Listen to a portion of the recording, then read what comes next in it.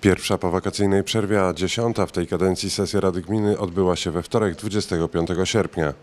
W programie obrad ujęto aż 21 punktów. Radni dyskutowali m.in. na temat planów nabycia na rzecz gminy nieruchomości w miejscowości Zwierzchów oraz sprzedaży gminnych działek w formie przetargu w Kurnosie II i Kałdunach. Podjęli też ważną decyzję o budowie nowego odcinka wodociągu na odcinku Myszaki do Brzelów. Ta inwestycja uniezależni gminę od kosztownych dostaw wody z miejskiego wodociągu. Jest bardzo e, dużo spraw e, do e, załatwienia, jest bardzo dużo oczekiwań mieszkańców.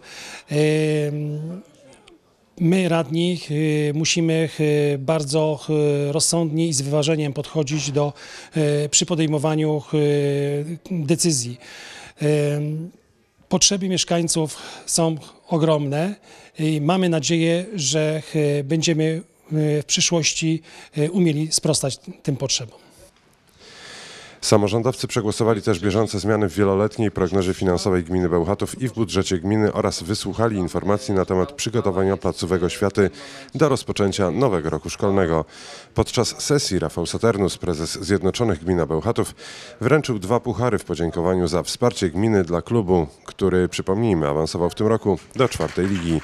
Pierwszy z nich otrzymał wójt Kamil Ładziak, a drugi Rada Gminy, w imieniu której puchar odebrał przewodniczący Jacek Ludwiczak.